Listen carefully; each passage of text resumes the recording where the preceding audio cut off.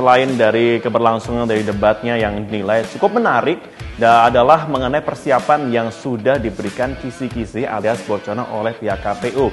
Nah sebelumnya memang capres dan cawapres nomor urut 1 dan juga nomor urut 2 Joko Widodo, Maruf Amin dan juga Prabowo Sandiaga Uno memang sudah diberikan uh, sedikit bocoran tepatnya ada 20 poin yang diberikan. Ini mengenai sejumlah tema yang dibawakan pada waktu debat sebelumnya.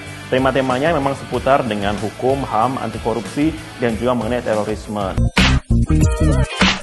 Itu tuh tepatnya tuh pada hari Selasa tanggal 15, Rabu tanggal 16, itu semalaman, itu warganet apalagi di Instagram, di Twitter, semua posting dari yang perubahan fisiknya, misalkan pada waktu masih SD dulu, terus sekarang sudah beda, misalkan dulu masih sedikit pipinya cabi, terus sekarang sudah kurus.